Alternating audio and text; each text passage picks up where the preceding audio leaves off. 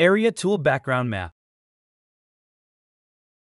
Did you know that using background maps in MicroStation, you can easily identify real areas on the map and insert an area value of any enclosed space, and allows you to place the value wherever you would like on the model as text. Also, if you want to measure the area of a space that is not enclosed, you can measure an area defined by points and create your own space in which to measure.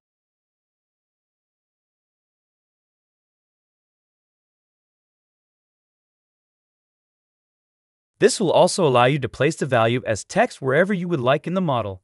As you alter these points, the text area value will update in real time.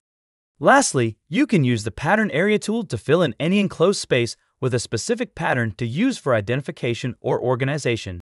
As you can see, there is a clear representation of the farmland even after the satellite map is switched off.